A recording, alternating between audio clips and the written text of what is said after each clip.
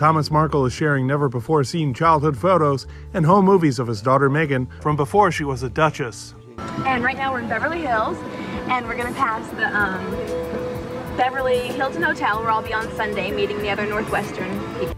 This clip, along with many others, were featured in Britain's Channel 5 documentary, Thomas Markle My Story.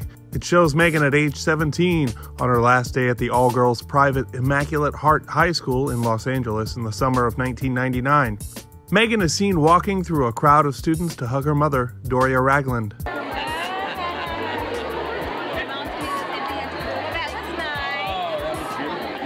Thomas also shared a video of Meghan in March 1997 performing as Red Riding Hood in her school's production of Into the Woods. Thomas, a former TV lighting director, told Channel 5 that he helped build some of the scenery and set up lights for the school plays. He also said that he knew Meghan would pursue acting after high school. When I saw my daughter performing on stage, I felt tremendous pride.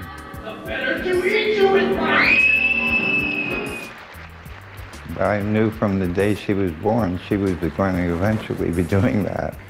It wasn't a surprise or a shock to me. It was just something I knew was going to happen. The special documented Thomas walking through the timeline of his troubled relationship with his daughter and how their bond slowly unraveled.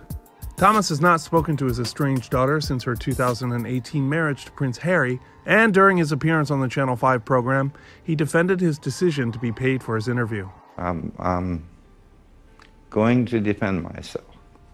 Um, uh, and I'm going to be paid for it. I'm not going to refuse being paid for it. And you're being paid for this, right? Yes, and I'm, absolutely. And I'll do future things and be paid for them, I think. Uh, I don't care. I mean, at, at this point, they owe me. Um, the Royals owe me. Um, Harry owes me. Um, Meghan owes me. Uh, what I've been through, I should be rewarded for. My daughter told me that when I reach my senior years, she'll take care of me. I'm in my senior years now.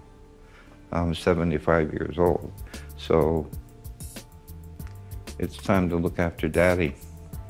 Thomas opened up about being paid for staging paparazzi photos and has no plans to stop conducting interviews in exchange for money. Channel 5 confirmed to NBC that they paid Thomas for the interview, quote, as we have done in the past for people's time and contribution. We mention within the program that he has been paid as part of the editorial and have been transparent about this.